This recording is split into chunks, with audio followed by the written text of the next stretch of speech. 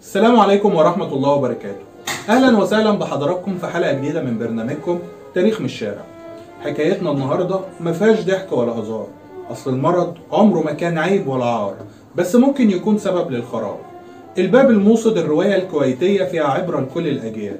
حكايتنا النهاردة من قلب دولة الكويت وبالتحديد يوم 15 6 1831 وفي عهد الشيخ جابر الصباح ضرب وباء الطاعون دولة الكويت وقدر يقضي على 60 ل 75% من الشعب الكويتي اللي موجود وقتها. ومن ضمن الحكايات اللي بتتقال إن في مجموعة من التجار نجوا من الوباء ده وسبب نجاتهم إن هم كانوا في رحلة تجارية لبلاد الهند. ولما رجعوا منها رجعوا معاهم كل الحصر على أهلهم وولادهم اللي ماتوا. ومن ضمن القصص والحكايات اللي بتتقال إن كان في واحد من التجار دول رجع بيته لقى أهله كلهم أموات. ومن كتر حزنه وخوفه إن المرض يتنقل له خرج من البيت وولع في البيت.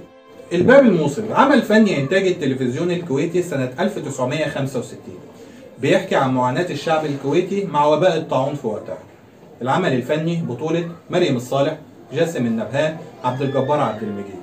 إن شاء الله هسيبكم دلوقتي مع لقطة من العمل الفني ونرجع مع بعض تاني. وإن شاء الله اللي حابب يتفرج على العمل الفني كامل موجود على قناتنا على اليوتيوب تاريخ من الشارع. هكون سايب لكم اللينك إن شاء الله في وصف الفيديو. اسمعوا يا أولادي نجاتنا في البقاء في هذا البيت لا أحد يدخل ولا أحد يخرج. ادخلوا ادخلوا دوركم. وأنا أنا أقوم على خدمتكم حتى تنجلي الغمة. ويزول البلاء.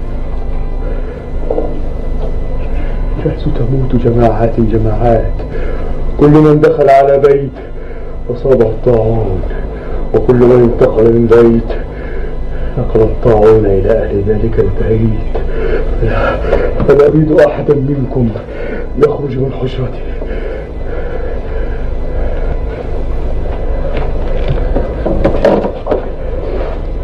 قد أمنت لكم الطعام والشراب لمدة شهر.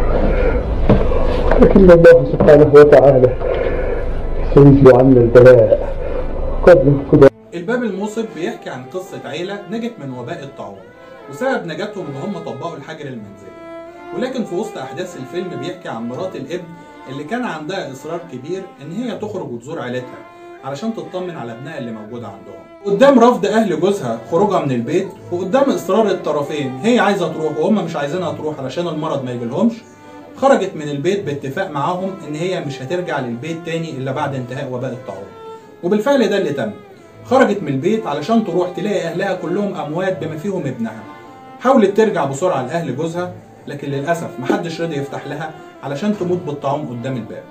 لو المرض كان عيب أو عار ما كانش ضرب بلاد المسلمين في عهد الخليفة عمر بن الخطاب وتسبب في موت عدد كبير من الصحابة والتابعين أمثال أبو عبيدة بن الجراح وده واحد من العشرة المبشرين بالجنة وكمان معاذ بن جبل ويزيد بن أبي سفيان وشرحبيل بن حسنة والفضل بن أبي العباس وغيرهم عدد كبير من الصحابة والتابعين.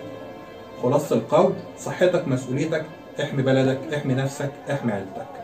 يا ريت الفيديو ده تعمل له شير عشان غيرك يستفاد. كان معاكم أحمد زاهر واستنوني في حلقة جديدة من تاريخ من الشارع.